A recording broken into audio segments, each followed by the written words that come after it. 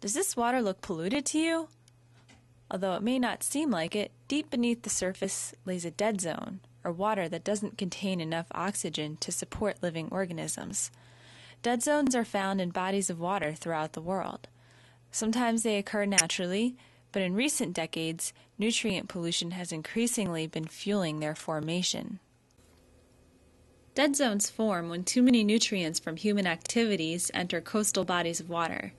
The nutrients come from sources such as fertilizer on lawns and farms, feedlots, sewage effluent, and the combustion of fossil fuels. The reason why uh, lots of nutrients uh, are not good for uh, our coastal waters is because the nutrients um, feed these uh, these microscopic plants that grow in the water, much like they feed your garden plants or, or trees. And when all these microscopic plants grow in large numbers because of the extra nutrients that we're adding to the system, um, they eventually die and sink into the deeper waters of our bays. And when those dead phytoplankton arrive in the bottom, there's lots of organisms that like to consume them to obtain their own food. And that process um, consumes oxygen. So the more nutrients we add and the more algae that are growing, um, the more consumption of oxygen we ultimately have in the bottom layer. Dead zones can have dramatic consequences for aquatic ecosystems. Living organisms are rarely found in dead zones because they escape to find water with more oxygen. Organisms that are slow or attached to the bottom, like clams and worms, die because they can't escape.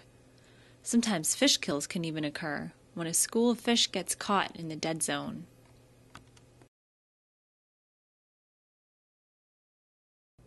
Throughout the world, an increasing number of water bodies are being affected by low oxygen conditions. Dead zones are also expanding in size and severity on a global scale. These trends result from changes people have been making to the land that drains into our coastal oceans and estuaries.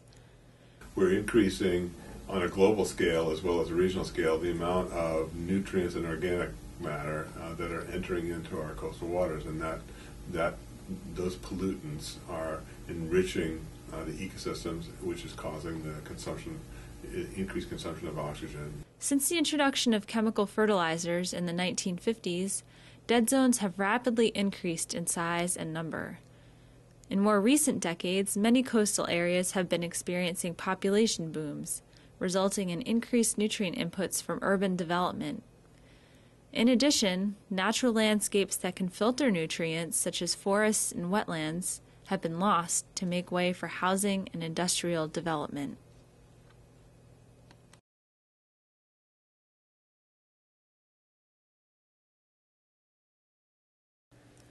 Currently, scientists from many disciplines use a variety of techniques to study the causes and effects of dead zones.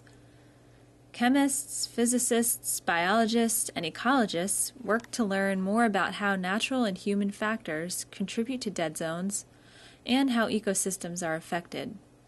Their research involves conducting laboratory experiments as well as monitoring dead zones through observing buoys and field sampling. Scientists also use computer models to answer questions like how will dead zones change over time. We can take um, information that we have that relates one variable, let's say uh, how temperature controls um, the consumption by bacteria of organic matter and the decrease in oxygen concentration. We take those relationships and we put them into equations, and the equations then are connected um, uh, in a computer to make calculations uh, which allow us to take that information and make broad um, estimates of uh, conditions, let's say in the whole bay, and how they change in time, and how they might change with changes in climate. While dead zones continue to affect waters worldwide, scientists are continually gathering new information that managers can use to promote better water quality.